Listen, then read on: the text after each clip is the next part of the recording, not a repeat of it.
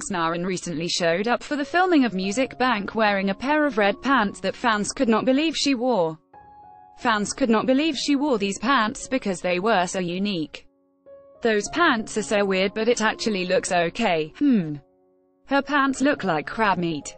Looks like dried peppers. Naeun is pretty, but what material are those pants?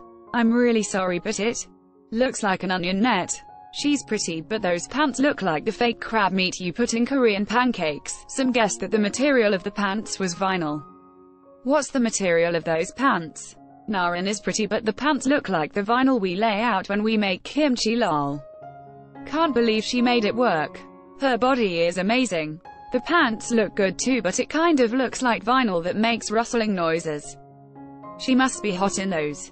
Ad choices advertising in red invented by Teeds what fans were more surprised at, however, was how well she pulled off the look. Damn, dot she can really pull off anything.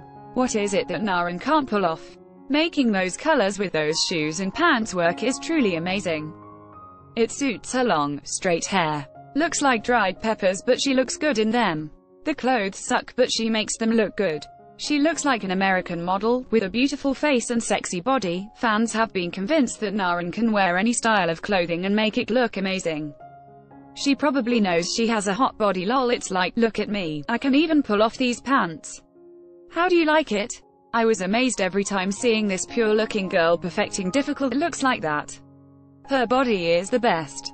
With a body like that, she must be excited every time she wears something. She's so freaking pretty. Her body makes the outfit shine. When Naeun wears it, it becomes fashion. With the confident poise that Naeun exudes, it seems like she can pull off any look she wants. Here are some of the other looks Naeun has nailed in the past. From casual sweats, to feminine chic, Naeun is able to pull it all off. Blackpink will start promoting Forever Young until end of July.